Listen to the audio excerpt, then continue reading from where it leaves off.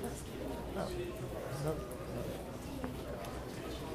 I I think they will ask a ton because There's been there's been room for like two questions after each speech. So okay, yeah. Okay, that's fine. we'll, um, it's alright, Raz will ask you. Are, are you gonna play that card? We can play it back afterwards. it's, it's a two-way. Two way street. Come,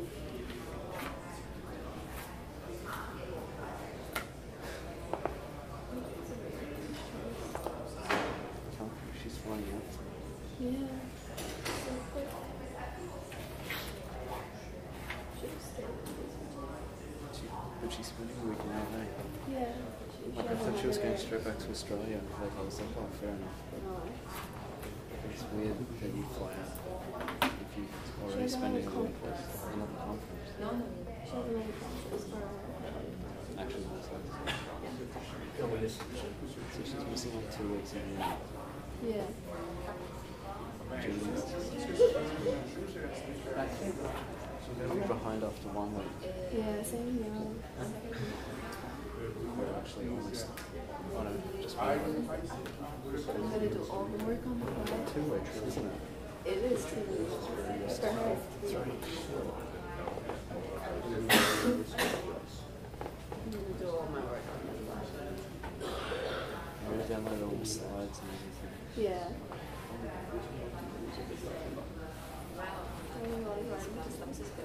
I'm not sure if I can be right on the Yeah. point. I get One of the- lazy on the fly. Yeah. I just want to sit there Yeah. and sleep or watch a movie. Yeah. pero en el horario Yeah.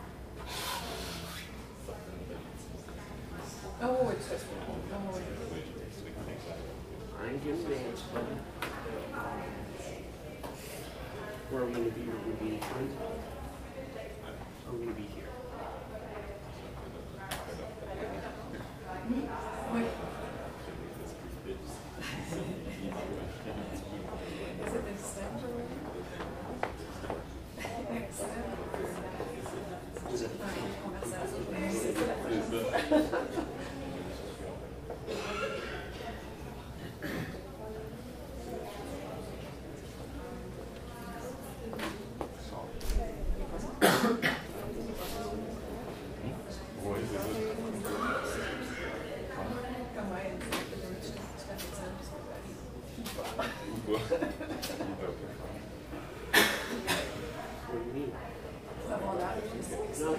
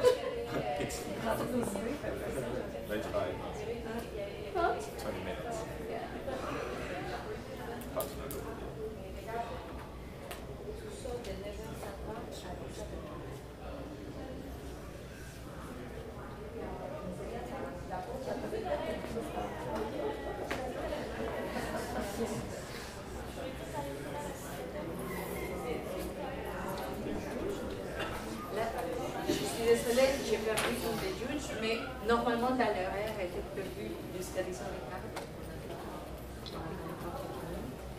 We wait for uh, the separate memories. Uh, we have uh, a that time for, for the course.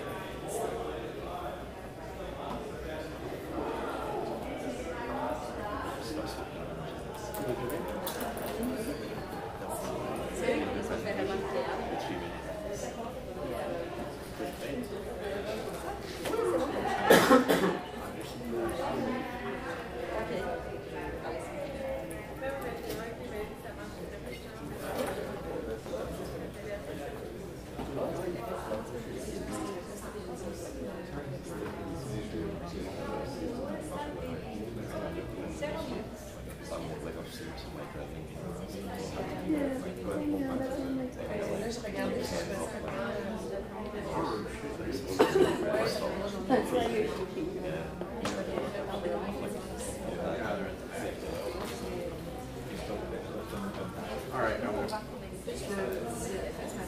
As soon as you question. Mais si vous voulez, entre les deux. Oui, ok, parfait. Désolé.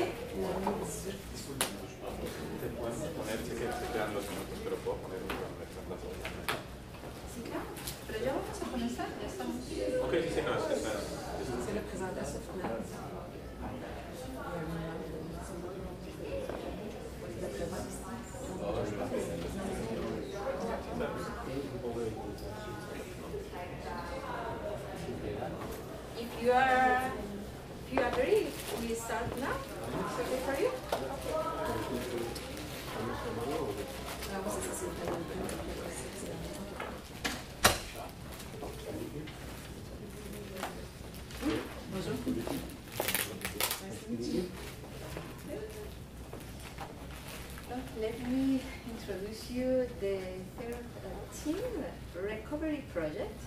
Recovery Project team comes from the University of Navarra, Spain. They will explain to you their solution to tackle food waste.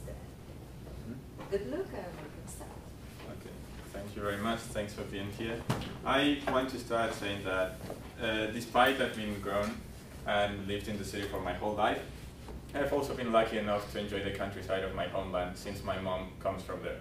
What that means is that I've seen hard men at work 24-7 with no schedule, didn't matter if it was Sunday, working very hard to provide for their families. But what I have also seen is them throw away piles and piles of their work just as it was done, work that could actually, that is perfectly fine, has no issues with it, but they saw their work out of the out of the window every single time, and this astounded me very much. So I gathered a team in order to look far into the issue and see if there was a social business approach we could have to solve this issue. So uh, we're the Recovery Project, and we're here to invite you, all of you, to change the world with us today. Okay, I would like to draw your attention to the left part of this graph. Though that big green circle represents total food production in the world. Out of everything that is produced, 17.3% is considered not edible. what does that mean? That means that according to uh, global health standards, it's not safe for consumption or utilization in some other industries. So that food is the one that is damaged in the field by animal water damage and cannot be eaten. Uh, the rest is perfectly fine with it and can be used. And uh, out of the edible food, 80% is utilized. What does that mean? That means that it's directly sold to the consumer via supermarket, wholesale, and other means of selling, or is used in, in making products uh, that use fruits and vegetables or whatever other type of food. However, 20% is what we call cosmetically challenged. What does that mean? That means that uh, the produce has some cosmetic defect, can it be color, shape, curvature, and farmers have no way to put that produce into the, into the, into the market because private companies have the money to simply waste or buy the other products, and that gets thrown away. That red box over there is what we want to tackle and our presentation is going to be oriented around that part. So initially, we wanted to come in, thank you, wanted to come in and do a global study of food wastage to get around normal numbers. So what we came up with is that 20 to 33 percent of food is wasted even before it gets on people's tables. What does this mean? That about 775 trillion metric tons of food is wasted annually of 16 fruits and vegetables that we study. That means that 1.4 billion hectares of land is unutilized or utilized improperly. Also 7,300 billion gallons of water is misused. And if we were to take the greenhouse emissions from that waste, it would be number three on a chart after China and the United States of America. So I want you to take a good look at this number, and this number represents 30 billion pounds of food wasted in the United States of America alone, and is the food of the products that we want to utilize and want to help farmers uh, harness. So, to do this, we decided to come in and see what's the feasibility of our project. How well can we implement it? And uh, we did a little bit of market research on it. And I'd like you to look at this chart of this dollar bill here, and I'd like you to see just how little producers in the green, highlighted in the green, make. They make 9.1 cents on the dollar for the food that they, um, that they produce. And this is from data collected by uh, the USDA. Um, compared to what sellers make, which is a lot more. And what we want to exemplify here is that we want to help farmers harness the income that they can make from the food that is wasted and increase their income, expand that 9.1 cents on the dollar compared to what sellers make. So what does this really mean? What's the important number? We're talking about a $40 billion industry in the United States of America alone with the produce, this cosmetically challenged produce that we want to harness. That's a big number and that's a lot of money and it also means it's a lot of food wasted. Okay, so basically after doing this feasibility, we wanted to see if somebody was already tackling the issue, if there was a space in the market for us to jump in. And we basically analyzed the three main competitors that you can see in the screen. And we came to the realization that they offer luxury goods. It seems that uh, imperfect products, can it be organic or not, it's aimed to those who want to have a conscientious way of eating, but are willing to pay extra for it. Just as what we have like fair commerce kind of thing. And also they don't really have that much variety since all of them, they basically provide this type of product, which is produce boxes. They just make small boxes that you could deliver to your place at a high cost in comparison to what would you pay in the supermarket or in any other country or market. What we want to do is actually differentiate. We believe that produce boxes are very useful and we intend to sell the products, but we want also to put our main focus on elaborated products because we believe that turning that ugly apple or that funny looking tomato you don't want to eat into something that you will regard as normal actually has a greater impact in the market and more possibilities uh, of being sold. So where do we step in? This is just a basic chart of the food, of the food process uh, from the field to the store. And we simply want to keep doing that. We want to keep the work just uh, where farmers left it right after production uh, and collection and process it and turn it into consumer products and things that everybody can use, can it be individuals or companies as their inputs in their processes. So this is where we step in. We're a recovery project and we plan to show you how we're going to harness this wasted food and how we're going to do it. We're a team of four people all coming, as we've already been introduced, from University of Navarra in Spain, and we have experience in working in or with, I better said, uh, KPMG, uh, Oliver Wyman, in the United Nations. And for this reason, I feel we have adequate experience to tackle the problem. Okay, so what is that we actually want to do? You might be wondering, what's all this recovery project all about? We basically have a two-part business solution to tackle uh, this problem. The first one is called Connect. Connect, it's all about uh, establishing uh, direct connections or relationship between the supply and the demand part of the market. What that ultimately means is giving a quick way out to products via selling it in bulk. Can it be if you have a batch organization that uses that, or uh, to any other one that would be interested in having it. The second part of our business solution is called Transform. Transform actually entails us, as Recovery Project, as a company, buying that imperfect product and turning it into something that we believe has a market uh, in, in which to penetrate. And by combining this two-part solution, we expect to fulfill our goal of bringing fresh, perfectly edible food at a reduced price uh, close to customers and have a positive impact in their world both by reducing waste and helping farmers communities that uh, struggle with the issue. So the markets that we want to penetrate into are the United States, the UK, and Northern Europe because they have a vast quantity of produce that is projected based on our studies. And also in their society, we've been able to see that they're comfortable with buying things online. They already have this working with them. They're people who buy things online. So we know that with a platform, we could be able to penetrate into the market. So regarding our value proposition canvas, once we sat down and tried to analyze the business, we realized we were, in order to survive, we were basically aiming to those looking uh, for affordable, healthy food, those that look for convenience, and also have other things into account. However, these kind of people usually experience difficulties such as high costs, uh, short lifespan of product because of the time of the big process it has already been going, and that is your food dying in your fridge three or four days after, as well as in some cases the artificial nature because of the uh, industrial production of food that takes place in some cases. And also we believe that by our solution they can get uh, they can acquire a conscientious way of eating, both in terms of health and social impact. Also uh, get the similar product but cheaper, and also for companies have more opportunities to develop given lowering costs in their operations.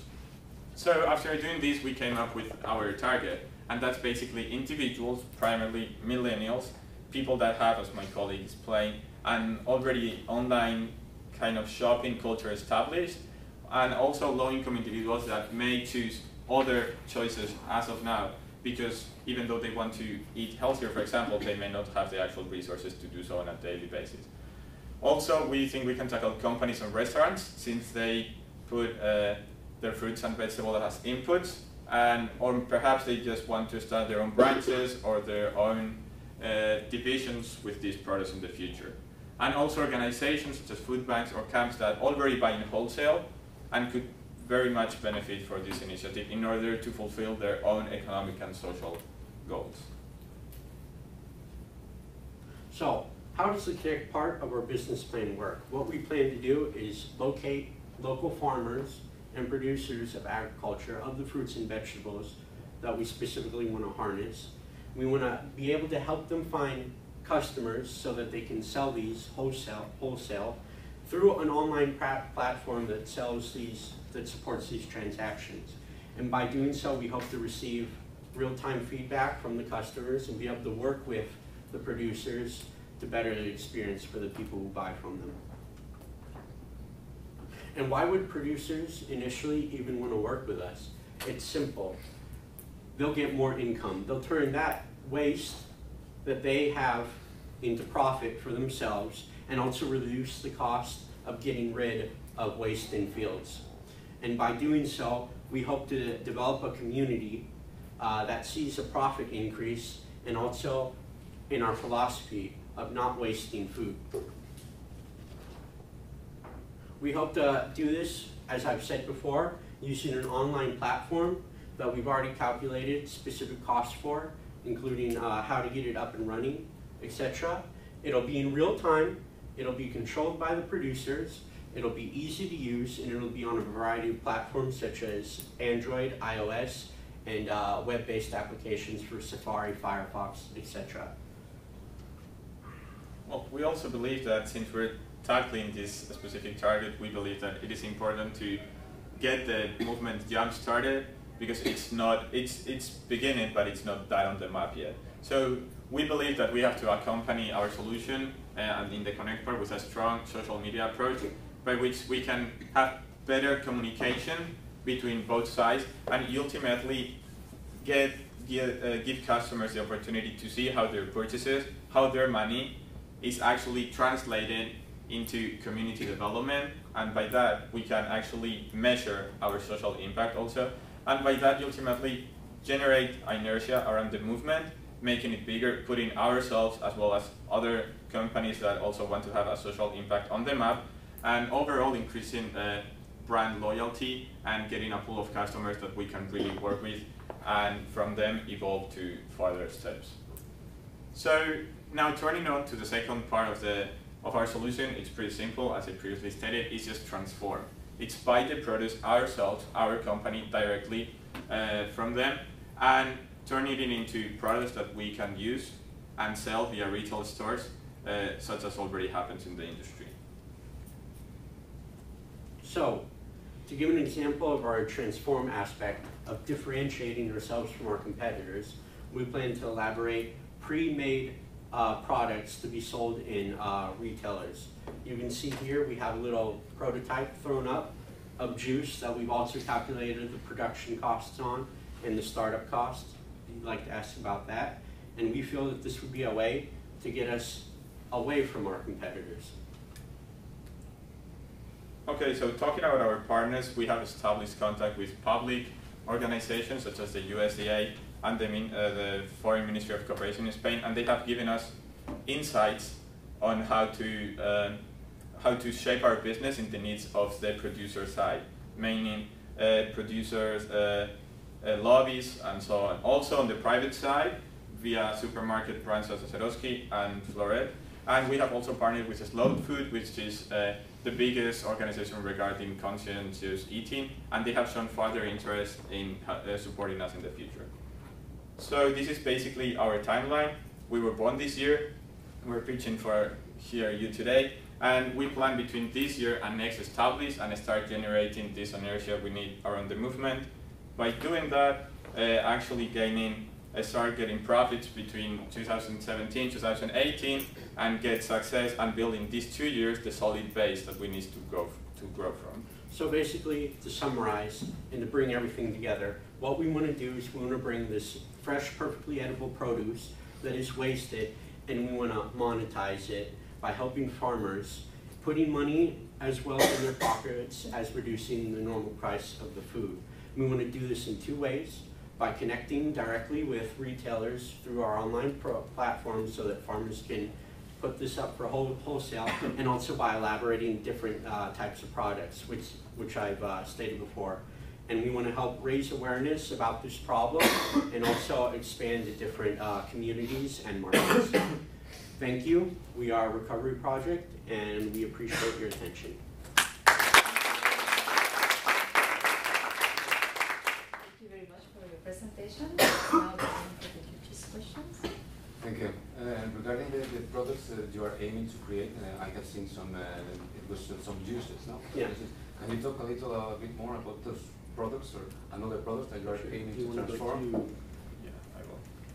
Um, it will take me a minute. Sorry about that.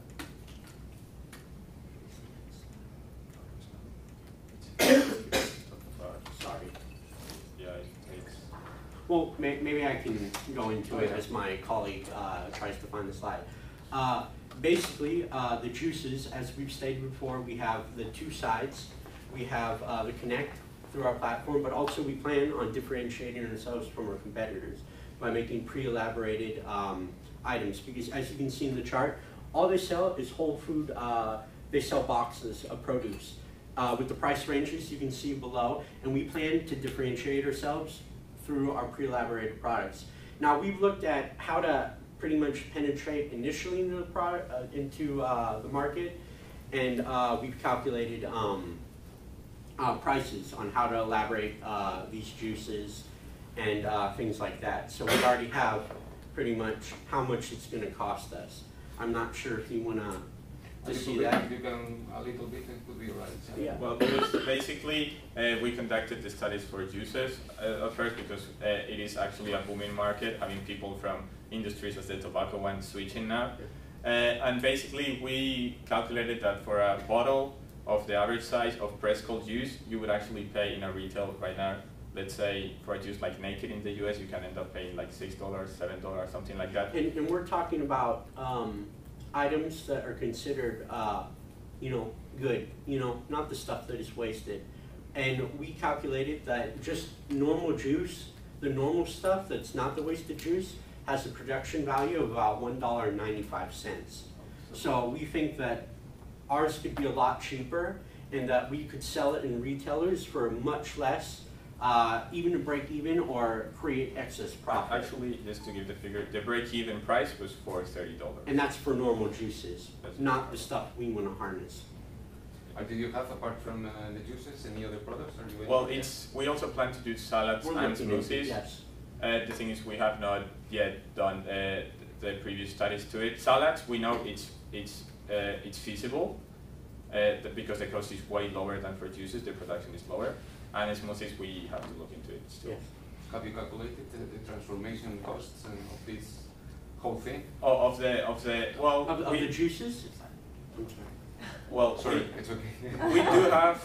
Do, do you want to see? We have for juices the actual slide with the cost. I can show that to you. Would you like to see that? It's okay. No, no. All right. Okay, the- then the- We're, we're the- sorry about that, yeah. Uh, in a world where the production is right now very challenging, where we see Californian droughts, where we Yes. see the impact that conventional agriculture is having on the soil, Yeah. where we have uh, in the United States the producers are not all small farmers, they are Yeah. major corporations.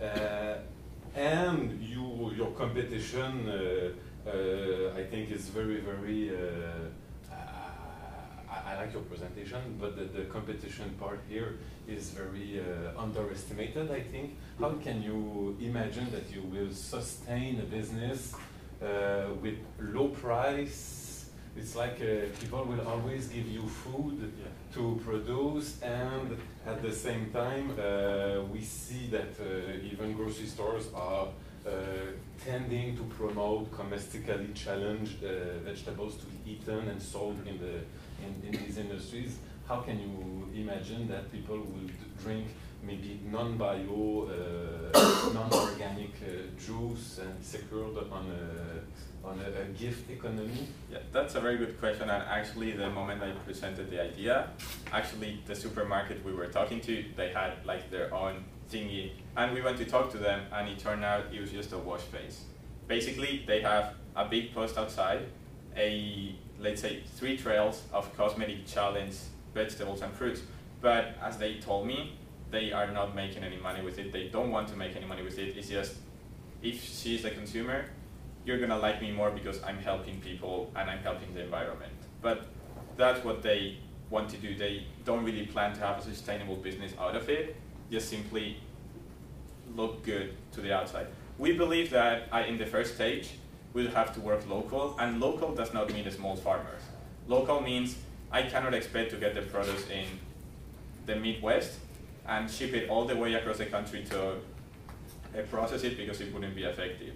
So we believe that at first we have to uh, work the logistics in order for us to get the produce and process as quick uh, and as we can. And yes, as the others do in the industry, provide uses. And regarding the organic, for example, part of the question you had, we are not directly aiming as organic because that's a whole market. I mean, there's cosmetically challenged products that is organic, but organic is a luxury good per se because it's not accessible to everybody. In for I mean, in the studies we've conducted, so we want to just give the stuff that already is there at a re- reduced price and help just farmers get what uh, at least what they would get something to cover the cost. And, and to clarify a little bit more of uh, your question, I, uh, we might have not uh, stated it quite clearly. We're not working on a gift-based basis. We're working on helping the farmers to get more money with uh, a commission, things like that. We want to pay them for their cosmetic, we want to give them incentive to give it to us. We're not expecting farmers to go, well, you know, just give them the food. We're expecting them also to get money back from what we take. Uh, well, you've touched on it just a little, but just, this is a basic question, but before doing waste yourselves, um, how would that work, the transformation part? Where would it be, or how do you, like, project, like, Okay, so the, the idea is to contact, uh, we have to get the producers, and producers uh, can be very small, can be a farm, which it's not really that small because they can have truckloads of produce, and it can also be an industrial producer. Basically, we have to contact them. That's why we established so with the USDA. We want to see who wastes where, and from there, just work the logistics on getting that produce. Because the shipping cost they already have, because if they have to give it, uh, to take it to a landfill, they have to pay the truck for that. So basically, it's paying the track to where we want to process, and of course, we're not aiming to process it ourselves at first. That means that is jobs that should be outsourced. Because at first, at the beginning, we cannot aim, I, am not here to present you, I want to get a factory and make my own juice because that would be completely unrealistic.